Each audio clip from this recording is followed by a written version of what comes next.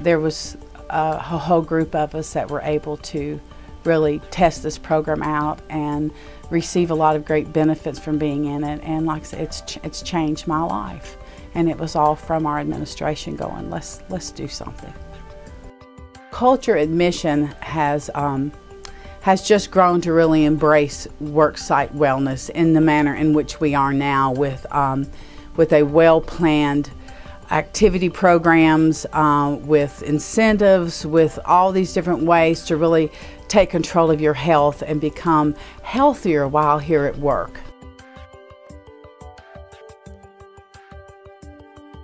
You know, NC Prevention Partners have a um, have an amazing program that, that's put together to help our whole state become healthier. And being partners with NC Prevention Partners in the last 10 years has really shifted how we do things around here.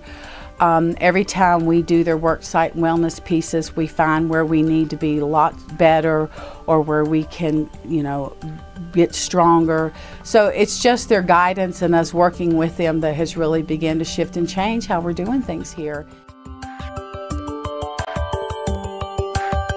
The thing I would like to say most is that I'm very appreciative that our administration has, has embraced the culture of wellness and we're seeing healthcare providers actually taking charge of their own health. And hopefully we'll see a whole um, a healthier workforce on the other side of this. And our message will be a lot stronger for the patients that we take care of that we're here for for all of us. And our health speaks to what we're here to do